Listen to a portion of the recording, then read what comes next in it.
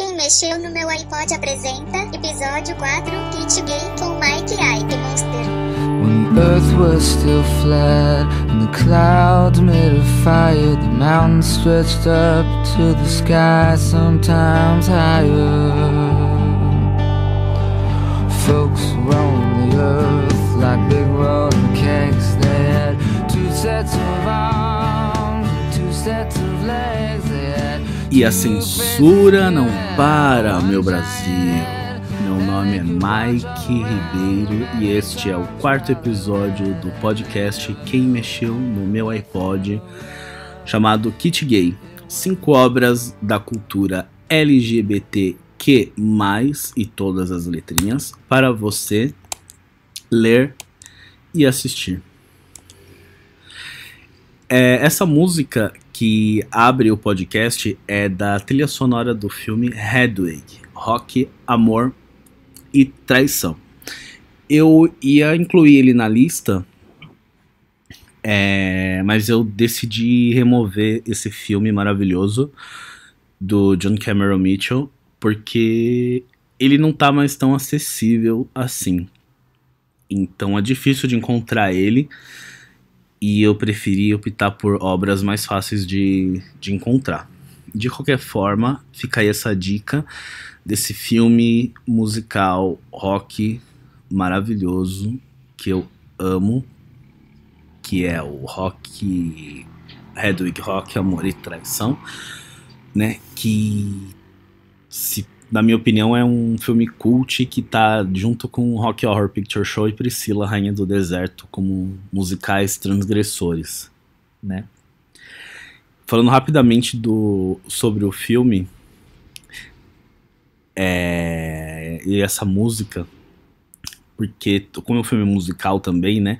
Ele tem um pouco a sensação de um álbum visual, tipo o The Wall do Pink Floyd, né? Pela montagem que tem com as músicas e tudo mais, né? Essa música que abriu The Orange of Love, ela foi inspirada no discurso de Aristófanes em um banquete, né? O simpósio do, de Platão, que diz que os seres humanos estão incompletos e condenados a buscarem por suas outras metades. E tem uma frase que eu amo desse filme que é que a Hedwig fala: Eu tentei cantar uma vez em Berlim. Eles jogaram tomates depois do show eu tive uma boa salada. É um filme maravilhoso, vale a pena encontrar. Se você for buscar no torrent, você encontra ele. Mas dando um pouco andamento ao podcast, é, eu queria abrir também com uma frase do ensaísta Walter Benjamin que diz que nunca houve um momento da cultura que não fosse também um momento da barbárie. É, a gente está vivendo aqui no Brasil um período de censura de todos os lados, né? Desde o autoritarismo do, do sal no rabo até a ação do Crivella na semana passada no Rio de Janeiro e aqui em São Paulo também, onde eu moro, que com a ação do governador maldito João Dória em recolher milhares de livros porque continha, segundo ele, uma ideologia, uma apologia à ideologia de gênero. É lamentável tudo isso. Enfim, é um momento de grande tristeza, na minha opinião. Mas a arte resiste, vamos lá. Por isso que eu decidi fazer esse, esse podcast, aproveitando a pauta e enaltecer cinco obras da cultura LGBT para vocês conhecerem um pouco mais, enfim, para ser discutido e etc e tal. E se entreter também, né? Porque uma coisa que as gays adoram é diversão também, né? É isso aí, uma mistura de resistência com diversão e entretenimento. Bora lá?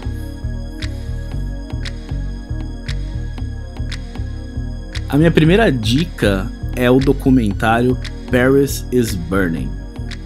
É, na minha opinião, uma obra-prima, é uma aula back to basic sobre a cultura drag e LGBT nos anos 80. É, quem assiste e, e gosta da RuPaul's Drag Race é meio que obrigatório assistir esse documentário. pela cultura que envolve as drags, pelo, pela contextualização dos anos 80 e o começo da, da AIDS, né?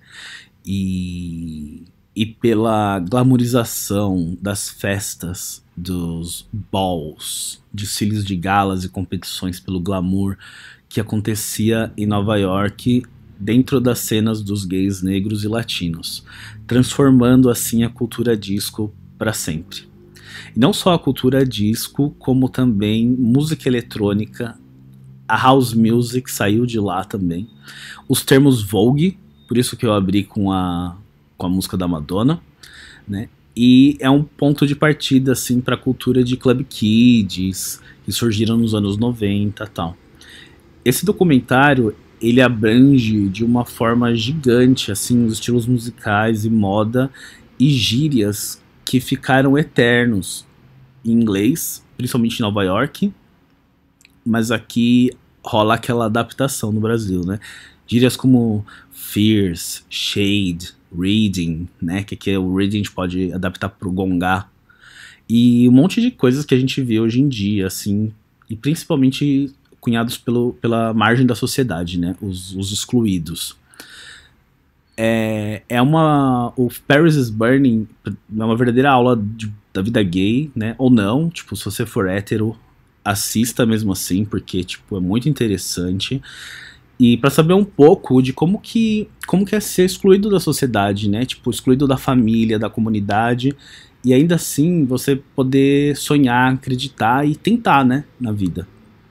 Tem um valor institucional que a diretora pega muito bem, né? A, o, o, filme é dirigido por uma mulher, a Jane, e, e assim, tem umas personagens maravilhosas, né? Tipo, é difícil não se encantar assim pela honestidade da Pepper LaBeija, né? Que era, já era famosa na época, quando ela diz que a América é branca e que os negros têm aprendido a sobreviver há 400 anos e ver que evoluiu pouco nesse último quarto de século.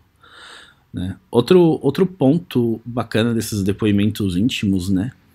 É a irmandade dentro dos bailes que acontece, né? E tem uma imagem, é, uma cena muito interessante no documentário que passa imagens de héteros, né? Tipo, cis andando nas ruas com as roupas dos anos 80, né? Todas chamativas e tal. E com a música Got to Be Real ao fundo. Essa cena é muito boa, né? E, e aqui o, alguns personagens eles falam, né, nos, nos, depoimentos, que, que não é preciso muito para entender que aquele mundo exterior né, da rua, da cidade, não pertence a eles, né. Tem uma, uma fala logo no início do filme de, de uma personagem que diz que entrar né, nessas festas, nessas competições de, de glamour, é como entrar, atravessar o País das Maravilhas, né? Tipo, você entra no ballroom, na festa e se sente bem. E deveria ser assim no mundo. Né? Ela completa a frase. E, e, cara, é sensacional, é muito emotivo, é divertido e faz você pensar bastante, assim, principalmente no que eu comentei antes de da margem na sociedade, né? Os excluídos. É um documentário que eu recomendo muito. Assistem logo, porque ele tá no Netflix e eu não sei quando ele sai. Esse documentário, Paris is Burning, ele deu origem à ótima série Pose, do criador de Glee e American Horror Story, o Ryan Murphy. A Pose entra no catálogo da Netflix agora no final de setembro, se eu não me engano, dia 28. Então fiquem atentos, porque vale muito a pena assistir como como um material complementar. Fazendo um entre parênteses aqui, eu queria indicar mais alguns filmes que estão no Netflix e que, e que tem a temática LGBT no meio, né? Que é a comédia romântica Alex Strange Love, que é muito fofa, muito gostosinha de assistir. O filme nacional Hoje Eu Quero Voltar Sozinho, para quem não assistiu, vale muito a pena assistir, que é sobre descoberta da orientação sexual e tudo mais. Carol, que é dirigido pelo Todd Haynes, que é um filme com a Kate Blanchett sobre um casal lésbico dos anos, nos anos 50. E o vencedor do Oscar, Moonlight, que também tá no Netflix e vale muito a pena ver, que, que trata. É uma. Pode-se dizer, entre aspas, que é uma perna desse. Do universo do Paris is Burning. Né? Se passa em outro lugar tal. Mas tem esse, essa perna essa continuidade. Como que, como que tá traduzido esse uni universo dos anos 80, final dos anos 70, 80, com hoje em dia? Vale muito a pena fazer esse paralelo assistindo Moonlight, que é um filme muito bonito também.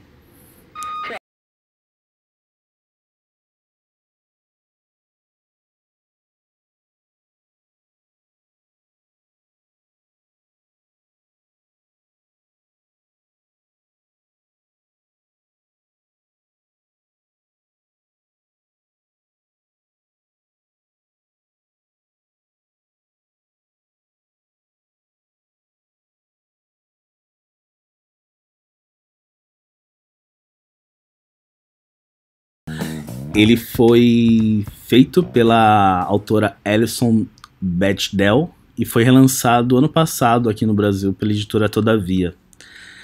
É, ele saiu, ele foi lançado em 2006, né? E foi o primeiro quadrinho dela fora das tirinhas, né? Ela ficou muito famosa por uma entre aspas, né, uma sitcom interminável, umas tirinhas maravilhosas chamadas Dykes to Watch Out For que acompanham um grupo de lésbicas em eventos políticos sociais dos Estados Unidos, além de problemas pessoais, enfim, ao longo das décadas. É... Dykes to Watch Out For é considerado um pioneiro assim, em representações LGBTQ realistas assim, na cultura pop, né? E além de ser bem sarcástico, é uma leitura bem divertida de fazer. Porém, a dica é Fun Home, uma tragicomédia em família. É o primeiro romance gráfico da, da Alison. E, e é meio que autobiográfico, né?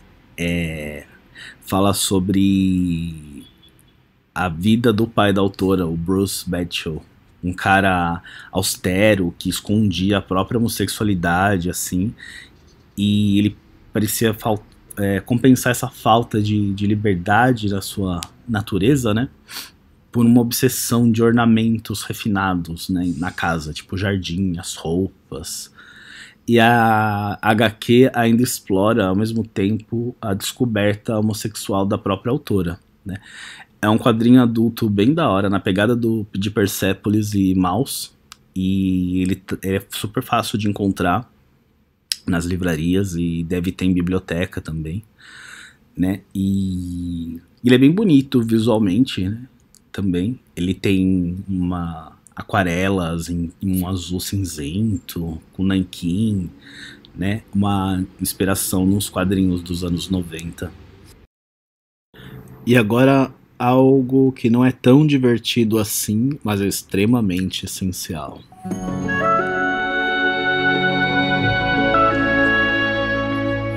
A minha terceira dica é a minissérie da HBO de 2003, Angels in America. Muitos dizem que essa é a melhor minissérie já feita. Eu concordo. É impossível você não sair outra pessoa depois de assistir essa obra-prima, né? Ela foi dirigida pelo fudido do Mike Nichols, do cara que dirigiu Quem Tem Medo de Virginia Woolf, A Primeira Noite de um Homem, o famosinho Closer, Perto Demais, que eu nem gosto muito. Além das comédias Secretária do Futuro e Gaiola das Loucas, que também com temática LGBT e é bem engraçado. Vale a pena assistir esse, com Robin Williams e o Nathan Lane. Mas Angels in America, é, se eu não me engano, são quatro, são seis episódios de uma hora de duração, ou quatro episódios, eu não lembro muito bem, desculpa. Ele é da HBO, tá disponível na HBO Go. E basicamente, né, é uma minissérie sobre a chegada dos anos Reagan à homossexualidade, né, e a descoberta da AIDS na época em que a doença é, era uma sentença de morte física e social. É, é, é uma série assim que escancara assim o nosso tamanho tão pequeno como espécie, os nossos fracassos E mesmo quando a gente se agarra a um pequeno fiapo de esperança que parece conduzir a gente a algo melhor, sabe?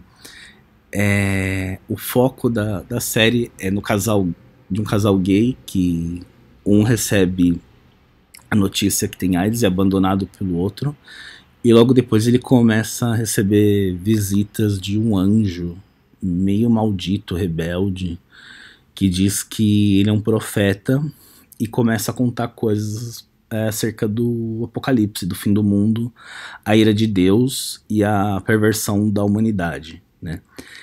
É, a série ela trata muito da degradação moral e física, não, não só pela, pela doença da AIDS, né, mas a, a falta de própria humanidade das pessoas, né, e como as pessoas começam a enxergar no, no presidente Reagan, né, a, uma salvação, o salvador da pátria, que destruiria todos os valores né, liberais, depende, depende de quem conta a história, né.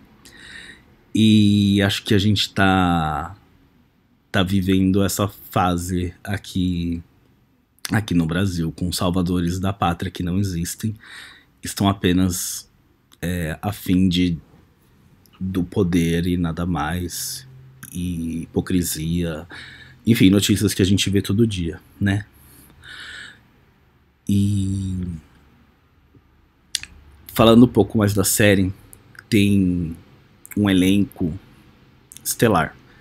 Tem o Alpatino, que é um dos reis do, do show. Ele tem um discurso sobre, entre aspas, né, ser um heterossexual que transa com homens, que é maravilhoso. Tem o Jeffrey Wright, como um enfermeiro gaysão. E uma participação discreta, mas genial da Mary Streep, que é maravilhosa. E também a Emma Thompson, que faz o papel do anjo e de uma enfermeira. Né? E a série fala muito sobre, sobre as pessoas, né? Que são esmagadas, esquecidas dentro de governos conservadores, preconceito, né? E esse essa chegada do apocalipse social que a série toda hora bate, né? Que vem ou não vem, é o principal da série, né? É um, um símbolo do, de próximos passos do que os Estados Unidos e o mundo no geral foram ser a partir dali, né? É, essa, essa minissérie tem, tem basicamente mais de 15 anos e, e não impede que ela envelheça, né? É, talvez é uma pena falar isso, mas ela é meio que atemporal. E, e depois ela foi para Broadway, virou peça de teatro, ou antes, eu não, eu não sei.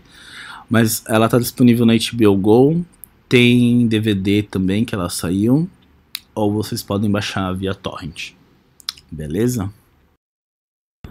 E agora eu li um livro escrito por uma brasileira, com a palavra Amara Moira.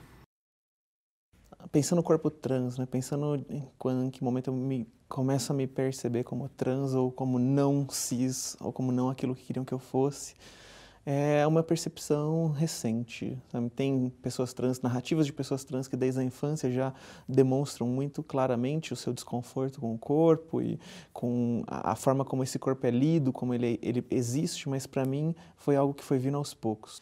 Eu lembro no começo da minha transição, quando as pessoas me perguntavam o que, que eu era, que, que eu queria, como é que eu queria ser tratada, e eu não tinha certeza, porque eu precisava experimentar. Eu queria ter o direito de poder conhecer, de poder experimentar, viver de outras formas e não exatamente eu querer sair de uma caixinha e para outra, mas eu queria descobrir de que maneira era mais confortável viver. Eu queria uma vida que fosse leve. Né? De uma certa perspectiva, eu gosto de pensar num mundo onde as pessoas não tenham que é, onde os seus corpos não tenham significados prévios, onde a gente possa com, romper com essas ideias de masculino e feminino, homem e mulher, essas formas engessadas, essas formas opressoras, né, que, envolve, que geralmente implicam que a gente não se sinta confortável com o corpo que temos e que queiramos transformar esses corpos. Então, acho que é isso, né? É, o corpo futuro, o cor, minha utopia de é, minha utopia de futuro é uma utopia onde a gente possa brincar de reinventar os nossos corpos, é, mas não para se enquadrar em padrões, em modelos, modelos de corpos que podem andar de mãos dadas, corpos que podem ser apresentados para a família, corpos que podem ter direito a trabalhar, corpos que podem ter direito a transitar nas ruas, mas que a gente possa reinventar esses corpos e os sentidos que eles propõem é, com base em uma procura mesmo pessoal de como é que você gostaria de existir, como é que a existência para você faz sentido. Esse trecho é de uma entrevista da série do Itaú Cultural é, Todos os Gêneros do ano passado. Eu vou deixar o link no YouTube. Eu não tenho é, direito. Esse, esse documento não é meu. Eu só usei para ilustrar, entre aspas, de forma de áudio, é, a abertura do trecho que eu comento sobre, a, sobre o livro da Amara, ok? E se eu fosse puta, ou pura, né? Foi escrito pela Amara Moira, que hoje ela é professora de literatura é, e doutora em letras pela Unicamp. Né? Ela é uma das primeiras pessoas transgênero a defender um doutorado usando um nome social nessa instituição. E é um exemplo também de resistência, ela é comunista do, do Mídia Ninja também. E nesse livro, é, não, obviamente não é um relato de desaventuras e narrativas picantes de uma garota de, de programa, né? Ela, a própria Mara adverte, né, entre as, abre aspas, o ataque às normas vai, vai se intensificar por aqui. Essa língua travesti, puta escritora, vai ser libertária ou não será, né? Fecha aspas. Ela inaugura essa vertente do puta feminismo, como, como ela mesma descreve, né? E, e o livro, assim, ele apresenta um, um corpo sem trânsito nessa nossa sociedade, né? Que explora e esmaga, enfim, nesse ambiente espectro feminino. Eu sei que não é o meu meu lugar de fala, obviamente, mas é uma leitura bem interessante para você conhecer mais um pouco do mundo, é, de outros mundos e outras vidas e outras histórias, né? E que e sair desse preconceito, estereótipo, em, enfim, é, é um livro que provoca, assim, realmente bem lá no fundo, né, esse, esse mundo padrãozinho e confortável que a gente vive. É uma leitura que eu recomendo é, vocês encontram os livros na livraria e com certeza tem biblioteca também. Continuando com livros.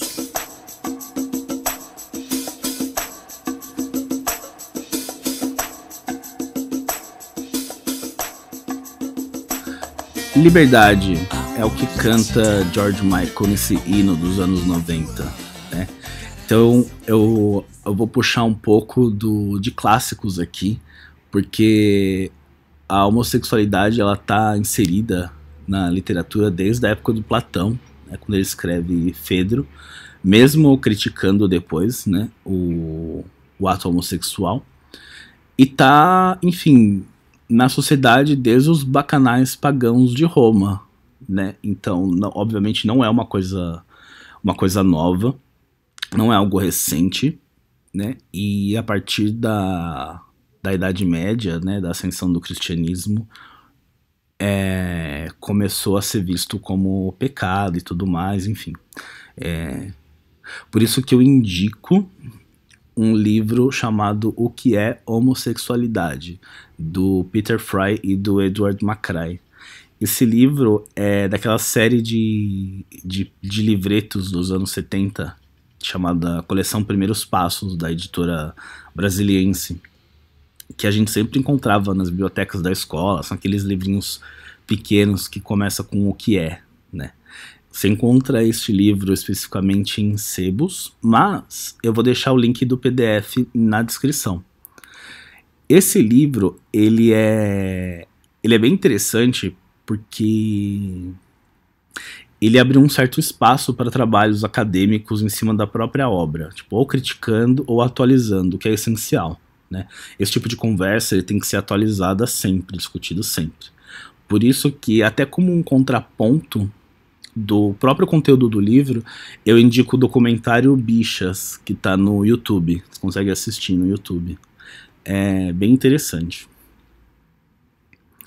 Indo um pouco mais para o passado, é um livro que eu gosto bastante, que tem essa temática, que talvez pode ser o que menos importa na realidade, que é o Morte em Veneza, do Thomas Mann. Né? Tem a homossexualidade ali, nesse livro de 1912, mas ele fala também de uma visão de, de amor, que conta a história do, de um escritor que se apaixona platonicamente por um rapaz, o Tadzio, que ele avista no, nos canais de Veneza, né? E, eles obviamente nunca trocam uma palavra sequer. Então é aquele amor proibido, regrado, reservado. Falam muito sobre solidão também. E eu gosto bastante desse livro. Ele virou um filme em 1971 pelo Visconti. É, não é tão difícil de encontrar, tem uma trilha sonora perfeita, é muito bonito. E eu indico também. Mas o livro, às vezes, na maioria das vezes, é sempre melhor que o filme. Tem uma frase que do livro que dá para refletir muito bem sobre os relacionamentos líquidos, né, de todos os sexos, né, não só do da homossexualidade, né, via aplicativos de date, WhatsApp, que que é bem atual, né, que a frase é assim: Não existe nada mais estranho e espinhoso do que a relação entre pessoas que só se conhecem de vista que diariamente, mesmo hora a hora, se encontram, se observam e que têm assim de manter, sem cumprimentos e sem palavras, a aparência de desconhecimento indiferente, devido ao rigor dos costumes ou a caprichos pessoais. Entre elas existe inquietação e curiosidade exacerbada, a histeria da necessidade insatisfeita, anormalmente recalcada, de conhecimento e comunicação, e, sobretudo, também uma forma de consideração tensa, pois o ser humano ama e respeita o outro ser humano enquanto não está em posição de o julgar, e o desejo é produto de um conhecimento insuficiente. O Morte em Veneza do Thomas Mann, ele é extremamente fácil de encontrar, tem uma versão pocket nas bancas e tudo mais. E é super curtinho e eu indico também. Voltando um pouco mais, agora eu vou falar de um clássico de 1891, que é o Retrato de Dorian Gray, de Oscar Wilde. Eu sei que ele pode ser uma dica meio clichê, né? Mas ele é muito apreciado até hoje, é um livro que eu gosto muito, né, pelo seu sarcasmo, inventividade, né, e algumas reflexões filosóficas que, que tem no livro. Mas o, o mais interessante para mim é a história por trás, né. Esse livro na época ele escandalizou é, Londres e o Oscar Wilde era um dandy, né, ele, ele é um cara meio famosinho na society em Londres, né, e e ele chegou a ser preso por dois anos, acusado de atentado ao pudor, pelo conteúdo homossexual que tem no, no retrato de Dorian Gray.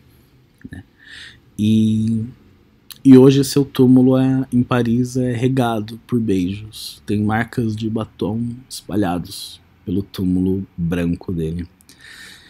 E tem uma frase muito foda, que ela é super curta, mas exemplifica muito bem na minha opinião, é... enfim, tudo que abarca a cultura LGBT e também não, porque não todos os seres humanos, né, que definir é limitar. Então, chega de rótulo, padrãozinho, preconceito, enfim, e bora resistir. Essas foram as minhas dicas eu espero que tenham gostado. Se gostou, compartilha, deixa seu like, assina. E é isso aí, vem conversar comigo, deixa uns comentários onde der. E é isso. Vamos continuando com muito amor, todo amor. Beijo e até a próxima semana. You looking at me and I was looking at you. We had a way so familiar that I could not recognize. Cause you had blood on your face and I had blood in my eyes. But I could swear by your expression that the pain down in your soul was the same